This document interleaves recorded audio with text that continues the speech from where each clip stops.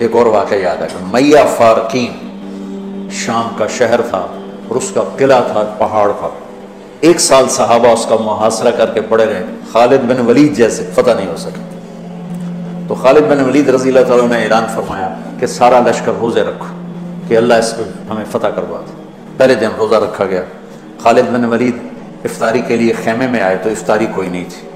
तो उनको ख्याल आया, ग़ुलाम मेरा बीमार होगा, उन्होंने पानी पी कर रोज़ा इफ्तार कर अगले दिन फिर उनको ख्याल आया।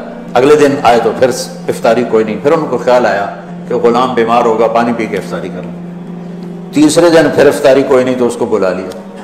कहा, भाई, खैरियत है? आप बीमार हैं? कहा, जी नहीं। कहा, मेरी इफ्तारी नहीं मिलती मुझे। कहा मैं तो रोज़ रखता हूँ। किधर? कहा, जी, खैमे में। कहाँ चली जाती? कहा, जी, मुझे क्या खबर? मैं तो रख के चला जाता हूँ। कहा आज पैरा देंगे तो जब उसने ला के इफ्तारी रखी और ये एक तरफ़ छुप के बैठ गए। तो एक कुत्ता आया और खेमे के पीछे से वो घुसा और वो जो रोटी पड़ी तो उसको मुँह में डाला और भाग पड़ा। खालिद बिन वलीद फरमाने लगे, ये कुछ इसके पीछे राज है। उन्होंने कुत्ते के पीछे दौड़ लगा था और कुत्ता आगे आगे, खालिद वलीद पीछे पीछे। तो वो कुत्ता एक नदी सी थोड़े थोड़े पानी वाली नदी में घुसा, वो भी घुसे। आगे एक छोटा सा सुराख था, उसमें घुस गया। खालिद बिन वलीद लंबा कद और पतले जिसम के थे। देखने में लगते थे जैसे कोई मुक्के दी मार लेकिन उन्होंने पहाड़ों को रास्ते से हटा दिया सैफुल्ला अल्लाह की तलवार। तो वो उस सुराख में घुस गए।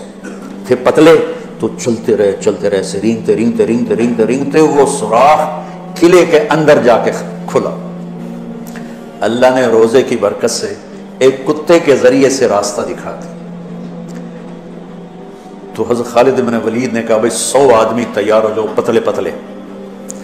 आज रात फतह है, इंशाल्लाह। तो उनको लेके घुसे, सिर्फ़ अठासी अंदर जा सके, बारह जरा थोड़े से हैवी थे, वो नहीं घुस सके। तो अठासी आदमियों को लेकर वो उस सुराख में से रेंगते हुए, किले में दाखिल हुए और जाके हमला किया और अल्लाह ने दरवाज़ा खोल दिया, अल्लाह ने फतह नसीब फरमाई। तो रोज़ा और नमाज़, दुनिया और आखरत के काम बनाने का वसीला और ज़रिया है।